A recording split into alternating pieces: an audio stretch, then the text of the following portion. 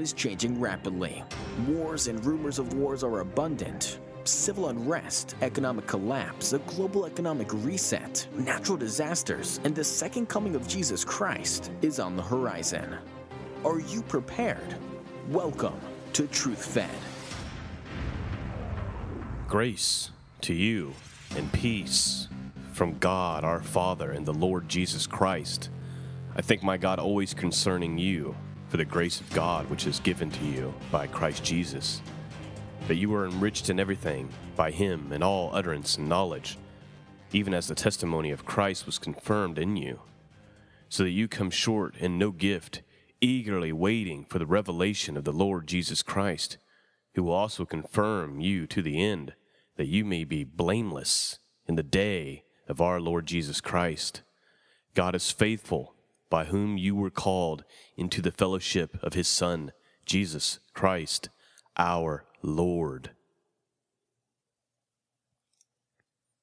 I wanted to read that passage out of 1 Corinthians chapter 1 to start the show uh, because I was thinking to myself yesterday just how blessed um, I am to have all of you. And I praise God for you, and I cherish your emails and the comments uh, that you guys send me to lift me up and to encourage me because sometimes, my friends, this work can be challenging. While there's nothing more fulfilling, uh, more rewarding, more enjoyable uh, than speaking, teaching, or preaching the Word of God, it can still be challenging because with that comes a lot of opposition. You know, people are going to show up who call themselves Christians uh, who have their own opinions about what you have to say. Many of them are people who don't study the scriptures daily and haven't a clue what they're talking about. Uh, there's spiritual opposition and many other things that make this work not always so easy and pleasant. Uh, so I just wanted to take a minute and say, I'm very thankful for all of you, and I praise God for all of you and uh, what you do to lighten my burden. Some of you subscribe to the show, some of you uh, pray, and some of you send emails, and, and some of you encourage me through comments, and, and all of that matters. All of it adds up, and uh, praise God for all of you uh, who participate. And uh, just all of you who listen who take the time to hear the truth to make my work worthwhile. It all matters.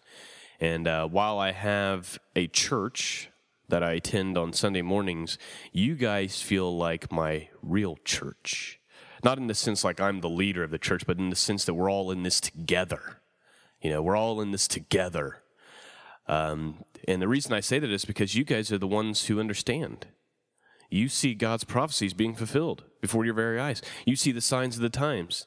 You're watching and waiting for the Lord Jesus Christ. You're begging God for forgiveness and mercy, not only for yourselves, but for your country and the church and the people around you and the lost and this dying world. You're heeding the warnings of the watchmen and the prophets. That's not getting done at any church that I've seen. And I don't mean to sound negative you know, sound so negative towards the church, but I have to, under the obedience of Christ, speak the truth. And the truth is, is a lot of pastors are wolves in sheep's clothing. And they're leading their flock right off a cliff and into the pits of hell, and with their false gospels and their doctrines. And I'm just trying to warn you, plead with you to repent and to fall on your knees and to beg the Lord God for mercy because the end is near. And you need to be ready not only for the return of Christ, but to spiritually deal with the things that are coming upon this earth. We're going to read about some of those things that are coming upon the earth in just a few minutes when we read Revelation chapter 6, and we're also going to read Daniel chapter 11. Hopefully, I'll actually get to our reading this time. But be on guard and study the scriptures daily to make sure that what's being spoken from the pulpit is true. Make sure that what I'm saying is true. Don't just take my word for it. Pray about it. Ask the Spirit to reveal it. Acts chapter 17 11 says, Now these were more noble minded than those in Thessalonica, Thessalonica, for they received the word with great eagerness, examining, examining the scriptures daily to see whether these things were so. Does it say examining the scriptures, you know, occasionally? Or taking a glance at it or, you know, listening to an audio? T- no, it says examining the scriptures daily to see whether these things were so, the things being said were so. Are these things true? Don't just take your pastor's word for it. You, you wouldn't believe how many friends I have, and I'll be like, man, this is what's going on. And they'll be like, and we'll just pretend that the pastor's name is Bob. They'll be like, well, Bob says this. Immediately, it's like, well, Bob says this, so that's what I believe. I really like Bob. We're great family friends, and we, you know, we have dinners together. When he seems to be really smart. look, examine the scriptures daily to see whether they're true. Stop listening to what Bob has to say for 30 seconds get your actual Bible out, dust it off, blow the dust off, you know, peel the pages back, read it, pray, and ask the Spirit to reveal the truth to you, and examine the scriptures. Don't just go get your favorite audio tape of your favorite pastor. Read the Bible. And I say that as somebody who used to just go with whatever I was hearing preached from the most my favorite pastors. And I still have some favorite pastors and I like them and I think they're doing a great job and they're leading people to Jesus and but I don't agree with them on everything. Now that I've taken the time to examine the scriptures for myself because there's some interesting things in the scriptures that my favorite pastors seem to overlook and not want to talk about not want to touch because it's well, quite frankly, it's scary. Some of it's absolutely insane um, the things that are coming upon this earth and the things we're going to be seeing in the cosmos, according to the Bible, sound like something out of an ancient fairy tale at times. And the church doesn't want to talk about it because it's uncomfortable. It makes them uncomfortable.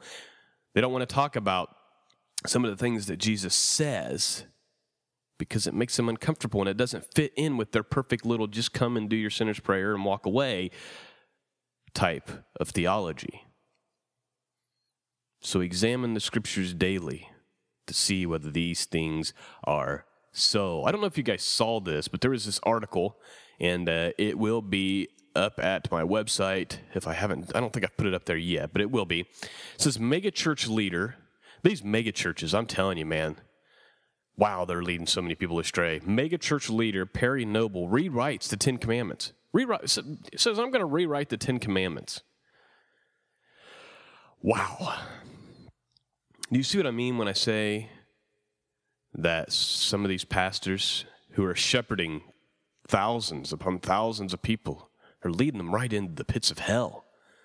Let me read some of this article. This is what happens when unqualified men are put in positions of leadership in the church. Perry Noble, who poses as a pastor of NewSpring Church in South Carolina, has never been set apart through ord, uh, ordination to the gospel ministry, and rightly so. In a recent passage, recent message, Noble proceeded to simulate the law of God, emasculate, I'm sorry, the law of God before an audience of thousands of young people.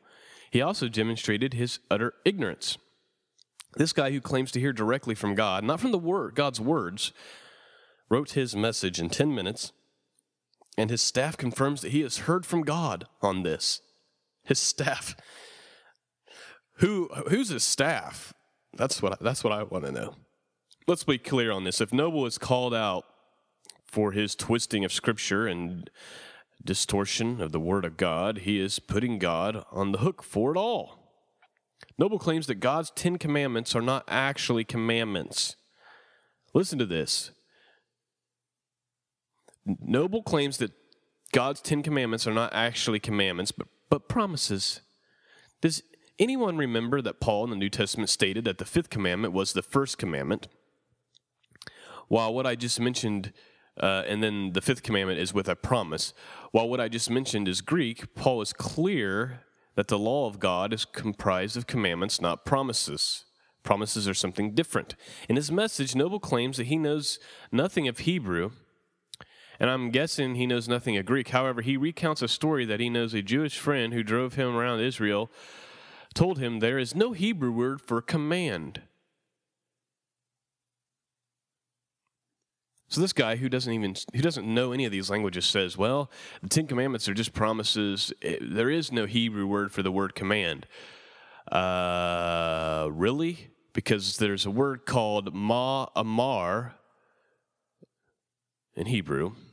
Word's origin from amar, definition a word, comma, command. There is a word in Hebrew for command. It's called ma um, amar. Ma amar. M A A M A R. Short definition, command. I mean, this guy just doesn't. Here's here's the point I'm trying to make: is we have these people shepherding thousands of people, and they say, you know what? I just heard from God. Uh, we're just gonna the Ten Commandments. They're not commandments anymore, so don't don't worry about obeying them. Uh, they're just yeah, just some promises. Um, you know, God really didn't know what he was doing. You know, I mean, uh, by the way, you know, I, I've never, I don't know anything about Hebrew or Greek, but there, a friend told me while I was in Israel that there is no Hebrew word for the word command. Uh, and then, of course, they're actually, but there's people that are following this guy. They're following him right through that wide gate that leads to destruction. I pray for these people. I pray for this pastor. God opened their eyes to the truth. And I wonder how many churches this is taking place in today.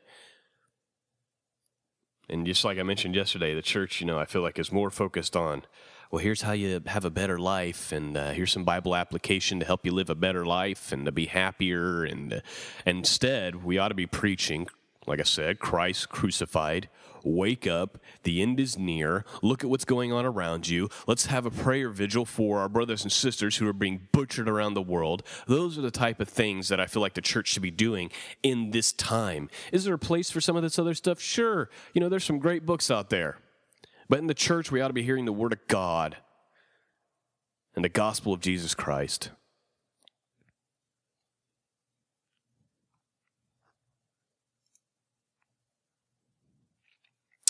You know, also this guy, aside from the fact that uh, there is a Hebrew word for command, uh, he's also missing Matthew 5:18, which says, "For assuredly I say to you, till heaven and earth pass away." This is Jesus speaking.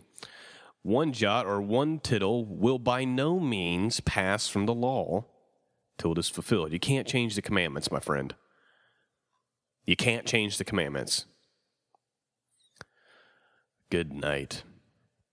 Anyway, that is the end of my rant uh, for this morning. Let's get into our scripture reading, starting with the book of Daniel. Then we'll read Revelation chapter 6 and wrap up the podcast. I just wanted to start the show by saying thank you and also to warn you to be on guard. Make sure you're studying the scriptures daily. Don't allow yourself to be deceived by pastors, by other men and women, by me, no one. Study the scriptures daily, and you'll know the truth. Let's get into the Word of God.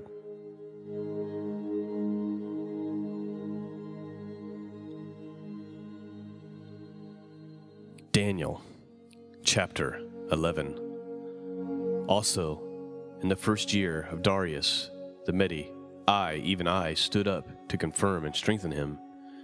And now I will tell you the truth.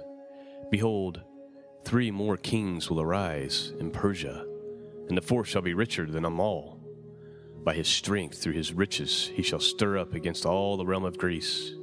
Then the mighty king shall arise, who shall rule with great dominion, and do according to his will.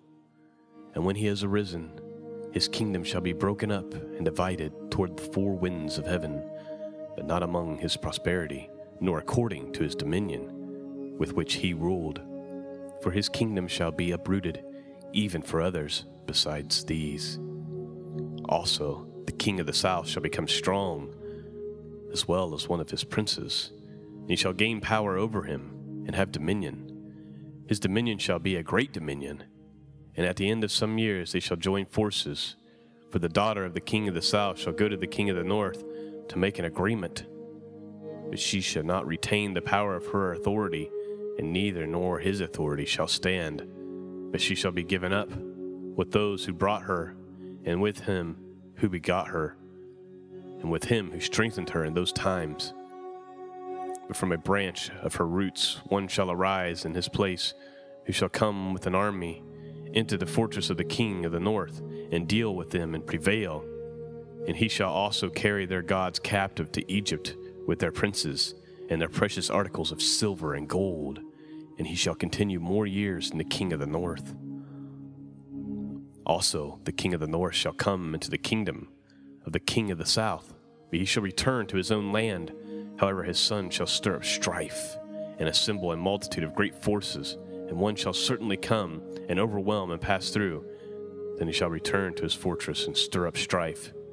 And the king of the south shall be moved with rage, and to go out and fight with him. And the king of the north, who shall muster a great multitude, but with the multitude shall be given into the hand of his enemy. When he has taken away the multitude, his heart will be lifted up, and he will cast down tens of thousands, but he will not prevail.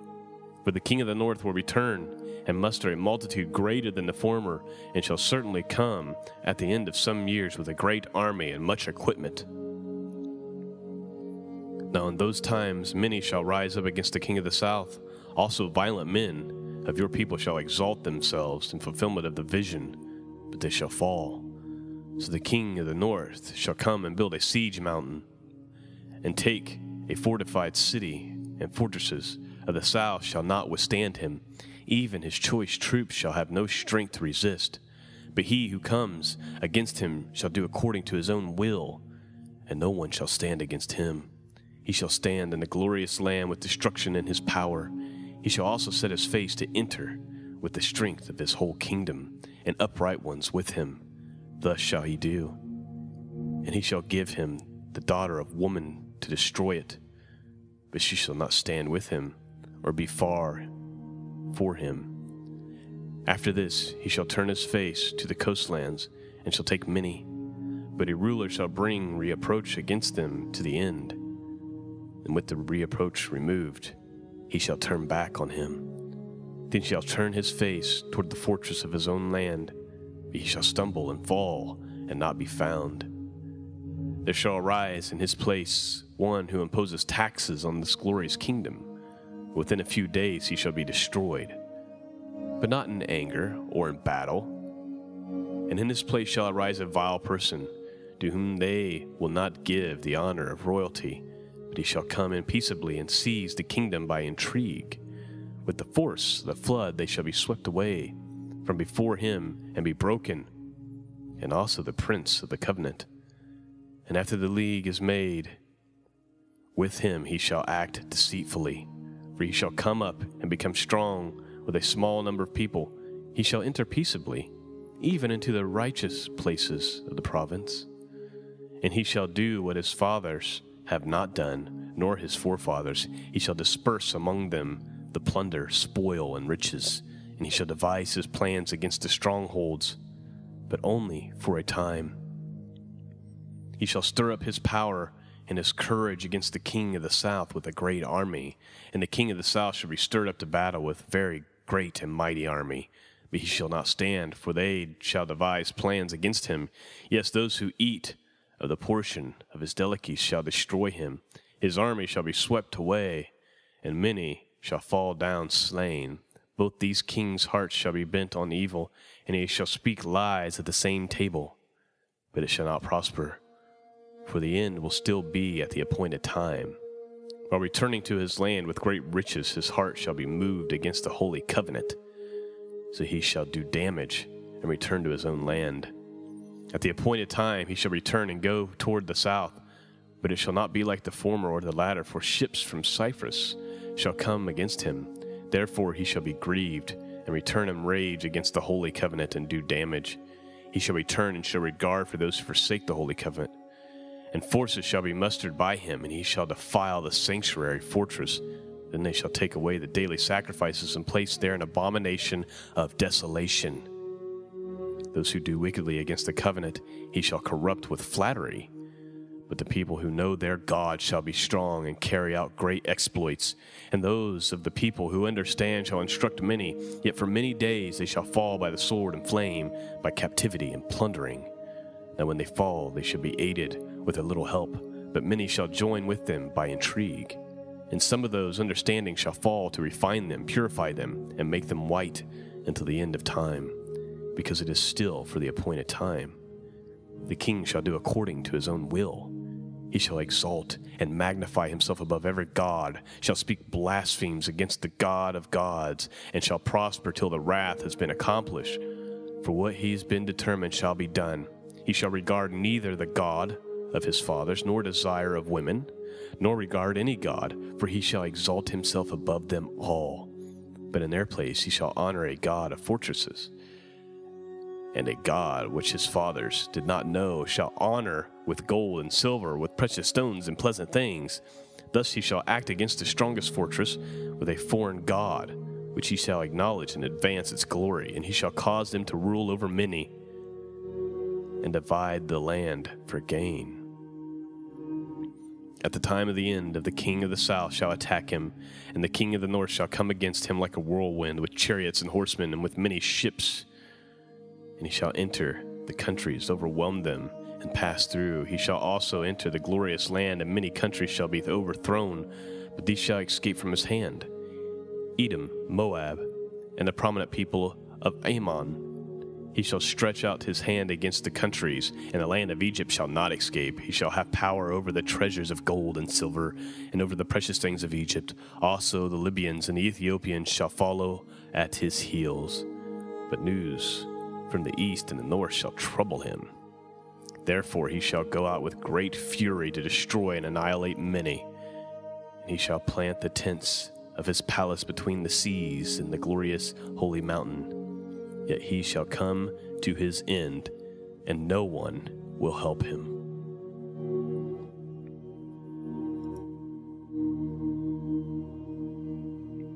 Revelation chapter 6. Now I saw the Lamb opened one of the seals, and I heard one of the four living creatures saying with a voice like thunder, Come and see. And I looked, and behold, a white horse he who sat on it had a bow, and a crown was given to him, and he went out conquering and to conquer. When he opened the second seal, I heard the second living creature saying, Come and see. Another horse, fiery red, went out, and it was granted to the one who sat on it to take peace from the earth, and the people should kill one another. And there was given to him a great sword. When he opened the third seal, I heard the third living creature say, Come and see. So I looked, and behold, a black horse, and he who sat on it had a pair of scales in his hand. And I heard a voice in the midst of the four living creatures saying, A quart of wheat for a denarius, and a three quarts of barley for a denarius. And do not harm the oil and the wine. When he opened the fourth seal, I heard a voice of the fourth living creature saying, Come and see. So I looked, and behold, a pale horse and the name of him who sat on it was Death, and Hades followed with him. And power was given to them over the fourth of the earth to kill with sword, with hunger, with death, and by the beast of the earth. When he opened the fifth seal, I saw into the altar the souls of those who had been slain for the word of God and for the testimony which they held. And they cried with a loud voice, saying, How long, O Lord? holy and true until you judge and avenge our blood on those who dwell on the earth. Then a white robe was given to each one of them. And it was said to them that they should rest a little while longer until both the number of their fellow servants and their brethren, who would be killed as they were, was completed. I looked, and he opened the sixth seal. And behold, there was a great earthquake, and the sun became black as sackcloth of hair, and the moon became like blood the stars of heaven fell to the earth as a fig tree drops its late figs when it is shaken by a mighty wind. Then the sky receded as a scroll when it was rolled up, and every mountain and island was moved out of its place, and the kings of the earth, and the great men, and the rich men, and the commanders, and the mighty men, every slave, and every free man hid themselves in the caves and the rocks of the mountains, and said to the mountains and rocks, Fall on us and hide us from the face of him who sits on the throne and from the wrath of the Lamb, for the great day of his wrath has come. Who is able to stand?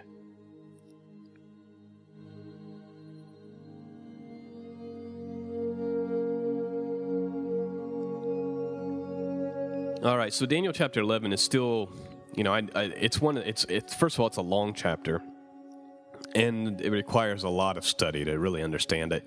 And I, I, just haven't put in enough study on this particular passage to have a clear understanding. Obviously, the end is talking about the Antichrist. Uh, that part we do get. Uh, we see the abomination of desolation taking place. Uh, this leader is going to show up. He's going to forsake the holy covenant. Uh, so, whatever covenant that he makes, he's going to break it. And. Um, He's going to defile the sanctuary, it says, and then he shall take away the daily sacrifices and place there an abomination of desolation. Jesus warned that when you see the abomination of desolation spoken by the prophet Daniel, So he's referring to this passage right here to run for the hills, to not even go back for your jacket, to get out. So, those of you who live in Israel, if this is literal and it takes place there, and you see this, when you see this moment, don't even go back for your jacket. Get out. And uh, so, you know, we see some things that make sense, some things that, you know, but I don't know for sure who all these kings are at this time. Um, I'm sure there's somebody out there who's done a better study of it than I have, and maybe you have some ideas. Maybe you've studied it and you want to share them with me. Um, but I need to keep reading. I'm going to continue to, I've, you know, I've only been through the book of Daniel a few times. I need to continue to read through it uh, because every time I do, I catch something new, uh, which is the case, you know, even for Revelation. And I can't even tell you how many times I've read through that. Uh, but in Revelation, we've got six of the seals uh, that we read, and then tomorrow we'll get into you know some of the others. Uh, we'll get into the seventh as we read chapter seven. Uh, but the first seal is the seal to conquer. Second seal is a conflict on earth. Third seal is scarcity on earth, uh, which I think uh, probably has something to do with an economic collapse. Fourth seal is widespread death on earth, which is a combination of of uh, you know people dying from the sword, people dying from hunger. It says even people by the beast of the earth being killed. Folks, there's some things coming upon the earth that people aren't going to believe. I'm just going to tell you that ahead of time, and I don't get into it so much because it literally people glaze over. Uh, but there's things coming upon the earth that you've that you've never seen with your own eyes. It says that men's hearts will fail them for fear men's heart are going to, what's coming upon the earth is going to be so scary, so strange, so out there. Their hearts are going to fail them. They're literally going to have heart, attacks because they're so afraid of what's coming upon the earth. There's going to be beasts on this earth eating people. And that's according to the word of God, not according to me. Don't call me a crazy. And then go study, you know, go study the times of Noah. Because Jesus says it's going to be like that. Go study the times of Noah. Tell me there's not some strange things going on there. Go read the book of Enoch, which many early Christians thought of as a very valuable text. It was found with the Dead Sea Scrolls, as an example. Uh, Jude quotes out of it, uh, quotes right out of the book of Enoch. Go check that out uh, and do a study of what the times of Noah were like. Uh, and remember that Jesus said it'll be like that in the last days. And tell me there's not some strange things coming upon the earth that are going to cause men's hearts to fail them. Okay? Uh, then we have the fifth seal with the cry of the martyrs. And we're seeing a lot of martyrs right now. Uh, and uh, this is just a birth pain. It's going to get worse. God help us, it's going to get worse. And uh, you see the cries of these mar- martyrs, and they say, How long, Lord, holy and true, until you judge and avenge our blood? and a white robe was given to each one of them. And he said for them to rest a little while longer until the number, you know, God's got it numbered. He's decided how many there's going to be. How do I know that? It says right here to rest a while longer until both the number of their fellow servants and their brethren who would be killed as they were was completed. God has decided that there will be a certain amount of martyrs and then we have the cosmic disturbances, which is also going to blow people's minds when they see the things taking place in the cosmos and the things falling on the earth out of the sky. It, there's going to be so many things plummeting into the earth that it's going to look as though it's going to look as though a fig tree is dropping its late fruit. I mean, you've seen leaves fall, right? In the fall, how they just kind of blow off the tree. It's kind of like that except it's going to be stars from heaven falling into the earth. Strange. It's going to be a it's going to be a crazy journey, and I believe we're beginning this journey. I believe 2015. Uh, you know, especially as we wrap up at the end of the year with a final blood moon, just madness, just complete madness. But those of you who are resting in the Lord Jesus Christ, you're not going to be, you know, as afraid as the average person. And here's the good news because you've been reading the Word of God, because you've been studying these things, because you're expecting these things to come, you're going to be prepared to give an answer The Bible says for you to be prepared to give an answer. You're going to be prepared to give an answer for those people who are freaking out and they're coming to you and they're saying, I remember you said something about this. What's going on? And you're going to have the answer and they're going to fall on their knees and repent before the Lord Jesus Christ. And there's going to be a great harvest and you're going to be participating in it. You want something to look forward to? That's what you should look forward to. And I have to tell myself that too because I'll be honest. There are days where I'm like, you know, why even get out of bed? You know, it's over. There's no, there's there's no future to look forward to. It's all coming to an end. Things are only going to get worse. But then I have to remind myself there's something more important to come to look forward to. It's called the great harvest. It's called being a participant in what God's doing on this earth. I just pray that it be filled with the Spirit. I pray that you're filled with the Spirit. I pray that we are filled with the Spirit and we're able to go out and complete the work of God and finish and persevere till the end so that we can stand before the Son of Man and hear the words, Well done, good and faithful servant. That is the show for today. I thank God for all of you continue to send me the emails. I'm going to do my best to respond to some of them today. I'm so sorry. There, there's literally more than I can handle, and that's good because I sometimes I read that sometimes I'm feeling discouraged, and an email will come in, and I'm like, what I'm doing matters. This matters. This makes a difference, and I just appreciate all of you uh, and the way all of you participate. And so, God bless. Thank you so much. Peace and grace be with you, and I'll speak to you again tomorrow.